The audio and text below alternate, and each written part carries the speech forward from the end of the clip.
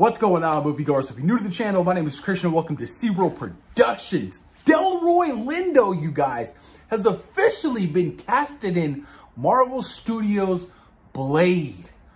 Finally, we get some kind of update for Blade, you guys. I know that the film was pushed back. Well, at least it was supposed to start production late this year.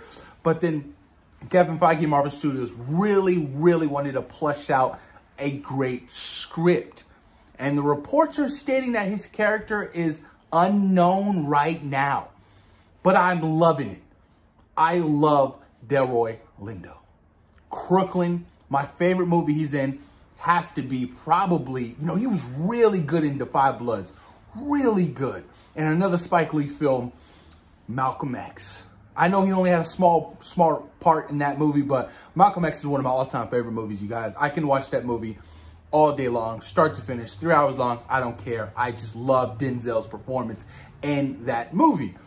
But this is exciting news, you guys. New reports are also stating that Blade is looking to start shooting next summer. Late next summer, that is. Possibly with a release date of 2023 or 24.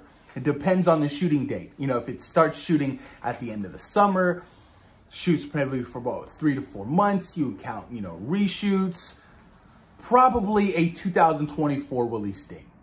But I'm so excited. I am so happy. I can't wait to see Mahershala Ali. I cannot wait to see what kind of work he's been putting in for the role of the Daywalker in the Marvel Cinematic Universe, you guys. Spoiler alert, we heard his voice at the end of Eternals. How exciting was that? I had no idea. I was like, who was that? Who was that? No idea. And all of a sudden, Chloe Zhao comes out saying, oh, well, that was Mr. Blade himself. Is he recruiting the Black Knight? No idea what's going to happen with that, but that's so exciting, you guys. I cannot wait to see the big first reveal. I can't wait for more casting news to come out for Blade in particular, you guys. I'm just really hoping that it has the aesthetic of that original movie or the first two movies, that is. I, am really hoping that, you know, Marvel is, is willing to really bend their rules and do something very different when we're talking Blade. I mean, at the end of the day, that first movie will always, always be one of my top-notch Marvel movies. And I'm going to be very crucial and critical of this, you know, this, you know, reiteration of the character with Mahershala Ali. You know, because I'm gonna I'm gonna look to the first blade. I'm gonna be like, look, it has to be that good or better. No ifs, ands, or buts. And I'm not doubting Marvel Studios. I'm not doubting Kevin Feige. I know that they're gonna do a fantastic job. You know, I just I just really wanted to capture what that original Blade had. You know, and if you can cast Wesley Snipes in something, give him a small role, I don't know what his relationship is with Marvel and, you know, Kevin Feige. I don't know if they've been talking, but if they're already casting for the role, you know, for roles in the movie, you, you, you gotta know, like, maybe Wesley's heard something. Maybe there's some rumblings of him, you know, being in the film. A lot of people, oh, you can do the multiverse thing. No, I don't want to see the multiverse thing with, you know, Wesley Snipes' Blade. I'm cool. Give me a fresh Blade, first Blade, that being Mahershala Ali. You know, there's so many roles that they can write for Wesley Snipes, you know, for this next Blade movie. So many freaking roles, you guys. Oh, I'm so excited. Uh, Wesley even gave, you know, his his his stamp of approval for, you know, Mahershala Ali. You know, that's so exciting, you know. I cannot wait, you guys. I'm so damn pumped for Blade. Ah, I just hope that it can do well with the rating. First film is R rated.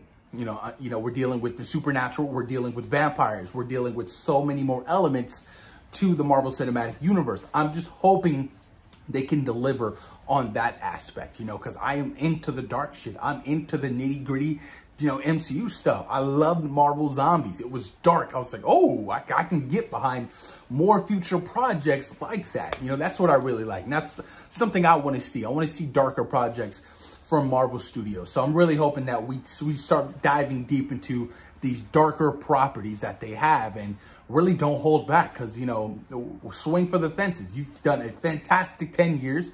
Let's start to develop and do more different things.